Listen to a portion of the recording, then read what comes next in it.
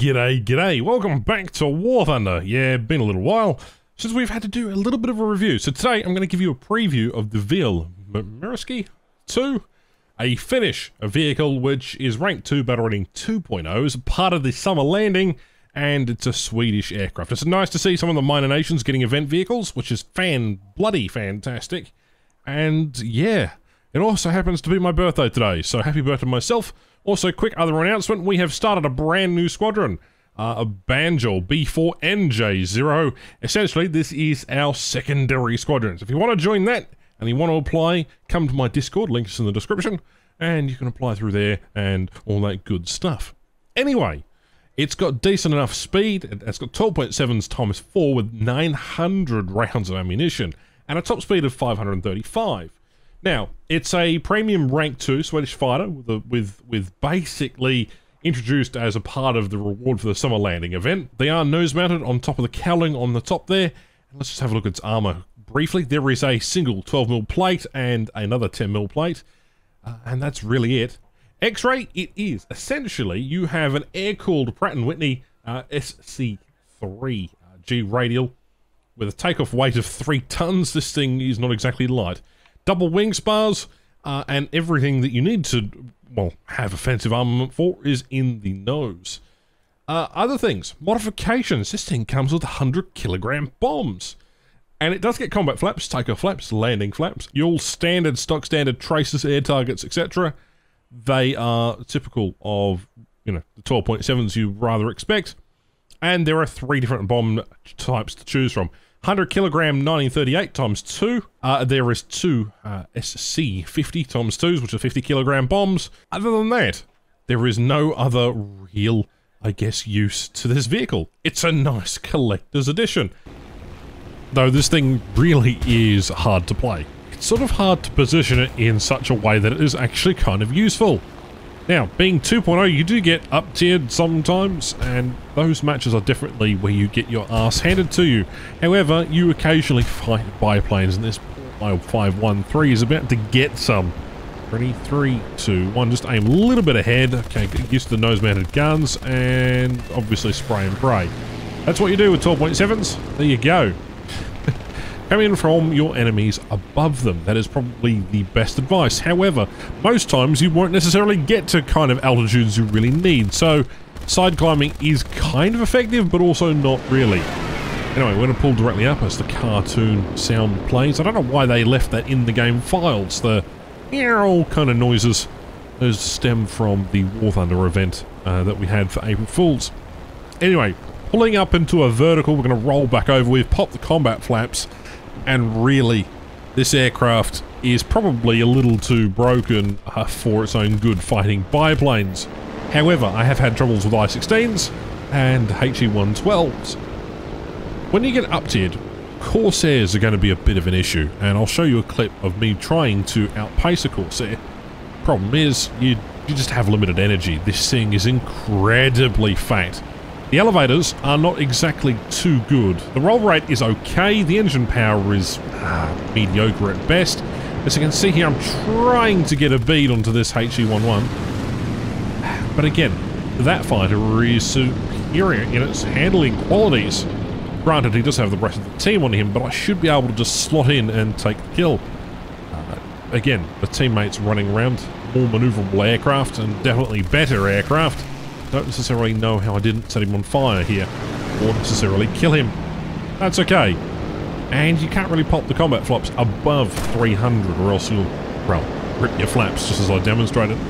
Trying to get him in here, I just can't quite get a bead. She's a bit heavy. I'm, I'm trying full elevators, I'm trying all sorts of things.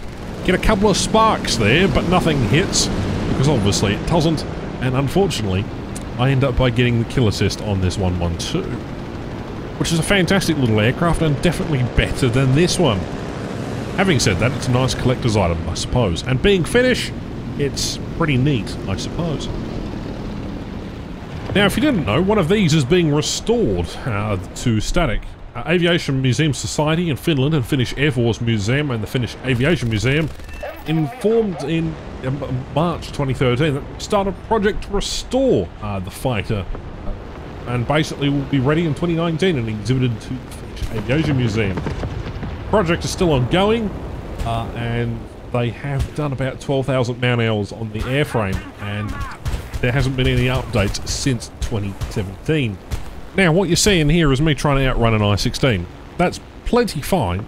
The I-16 can't catch me in the current configuration, however, I'm bleeding speed like a motherfucker, and unfortunately, this I-15 is going to get absolutely railed. See, like that, just like that. I've pulled up in front of an I-16, and watch how slow and sluggish this thing is. I've got. I was greedy with the kill. I should have just extended myself out. What did I do? I didn't do that. Trying to avoid as much damage as possible and trying to get as much speed as possible. The I-16 has me in spades here, and unfortunately, you can't do anything when you're this close to an I-16. They'll just tear you to shreds. You can't outmaneuver them, you can't outrun them. And this is where we run into the up tiers. Corsair. A fantastic aircraft, very maneuverable, very capable. I can only outmaneuver him for so long. Take a little bit of a hit there, passing below. 109 above me, just double checking that he isn't coming in the fray. And we're going to play the spin game. Now, I have no idea where he is. I've just lost him. I could have easily came into the inside of him there and possibly get a bead on. But unfortunately, just look at how heavy this thing is. He's got every advantage here. This is his playground. And this is at medium altitude, around 2,500 meters. You see, I'm trying to get shots off trying to desperately roll and, and just use all the control surfaces I possibly can. It's just working to no avail, so I'm just trying to stay alive for as long as possible, because energy is critical here. I don't have a lot of it. Oh man, close shot there. But again, the Corsair has more guns than you, more ammunition, has a better engine, turn fights better than you, has a better elevator and better uh, rudder authority. You just can't use the flaps on this thing at all sort of end up by doing this dance, going round and round and round. And unfortunately, he has every advantage here. Aside from this, I'm trying to pull on the inside again. Again, I'm making him work for this kill. I am making. Oh dear, altitude. Okay, this is going to be a bit of an issue. Because I've run out of altitude, I can't rely on anything else. So there has to be a big mountain in front of me here. Oh, come on, just avoid. And pull up, pull, pull. Come on. Oh. No bead. Unfortunately, Corsair's still a better aircraft. Let's not get into Spitfires or 109s, you can somewhat deal with 109s effectively, but to summarise, this aircraft is kind of useless, especially in an up tier. In a down tier it can be useful depending on the scenario. Side climbing is favourable, but again you get options like this. Fuck this stupid ass little fucking fat piece of Swedish... Christ! It's so just Fuck this little machine!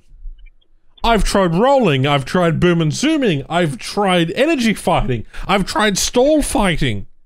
I've tried climbing off the map. I've tried medium altitude. I've tried low altitude. I cannot get a consistent result with this piece of junk. Fuck me. This is the. Do not bother with the Swedish thing. Holy fuck, this thing irritates me.